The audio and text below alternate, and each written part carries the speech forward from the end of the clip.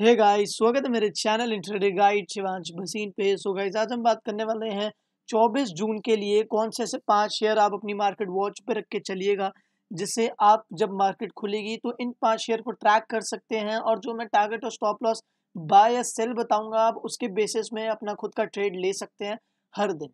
So guys ये जो मैं शेयर करता हूँ आपके साथ, मैं हर दिन आपके साथ शेयर करता हूँ कि आप अगले दिन मार्केट में कौन से कौन से स्टॉक्स बाय करके चल सकते हैं, जिसका परफेक्ट टारगेट स्टॉप लॉस आपको दिया जाता है चार्ट को देख के बेसिस में।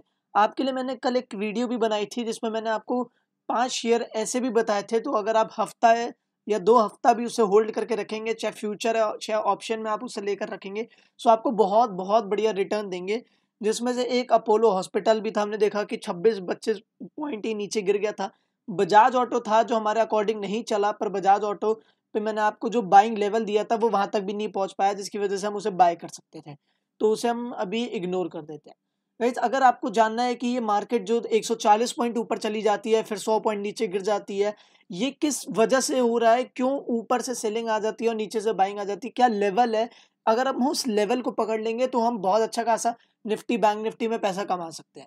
सो so गाइज़ वो लेवल समझाने के लिए मैंने आपके लिए कल एक वीडियो बनाई थी जो इसके डिस्क्रिप्शन में भी आपको मिल जाएगी इस वीडियो के, या फिर आपको यहाँ पर आई पे भी दिख जाएगा, आप जाके क्लिक करेंगे तो।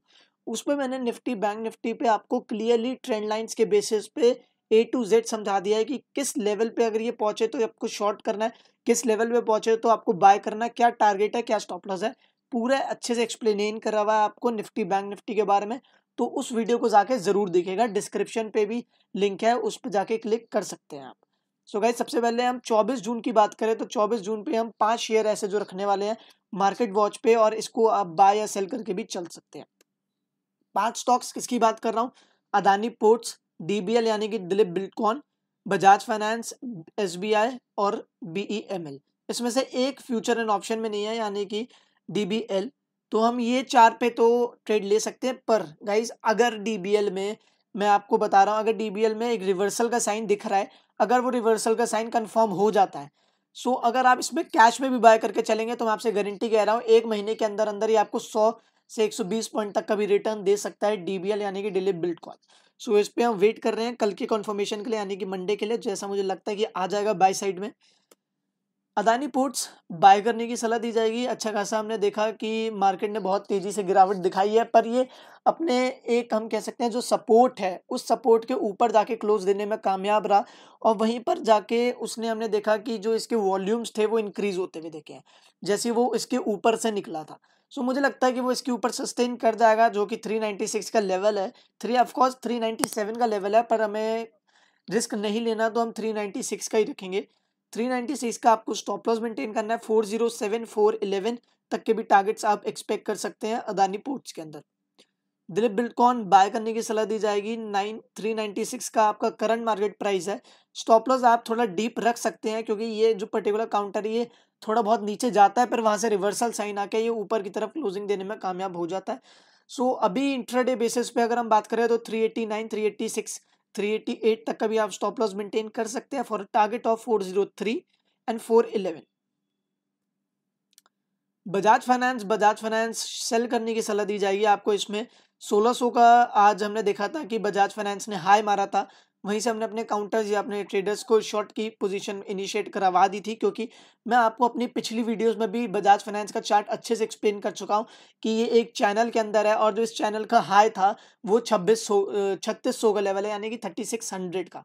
तो आज जिस तरीके से वो थर्टी सिक्स हंड्रेड को टेस्ट करा, वहीं से हमने अपने क्लाइंट्स को शॉर्ट की पोजीशन दे दी थी और पैंतीस सौ पचास का पुट भी बाय करवा दिया था और आज का लो ये पैंतीस सौ पचास ही था। सो गाइस अभी भी इसमें एक डाउन साइड आ सकती है पैंतीस सौ तीस या पैंतीस सौ तक के लेवल्स में भी ये जा सकता है आने वाले टाइम में।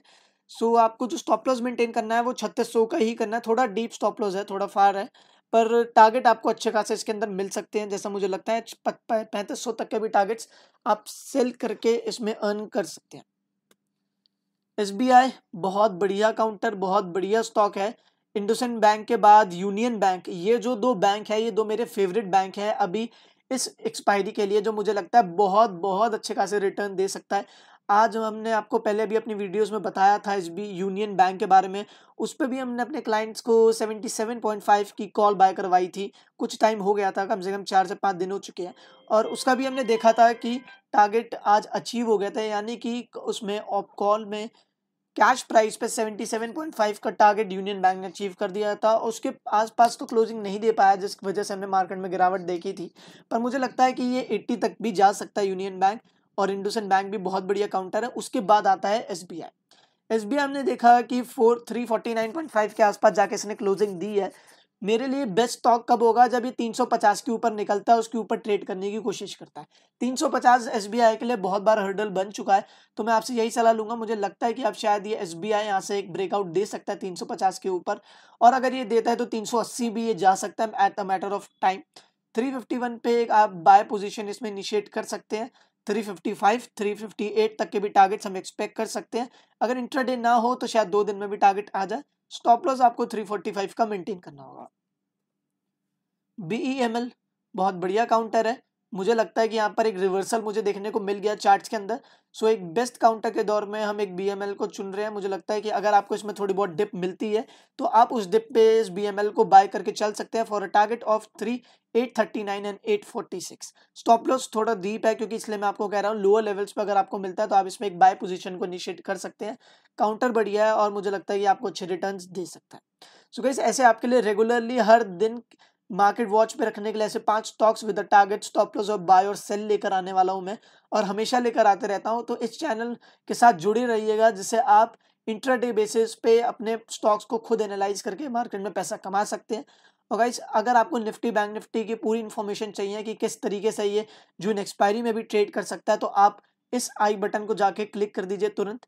यहाँ पर आपको आई बटन दिख जाएगा और डिस्क्रिप्शन पे भी लिंक है। सबसे पहले ही आपको लिंक मिल जाएगा। वहाँ पर जाके आप उस पर क्लिक करके सारी की सारी इंफॉर्मेशन पा लेंगे मैं आपसे मिलता हूँ नई अगली वीडियो के साथ। साइनिंग ऑफ़ शिवानशी पसीन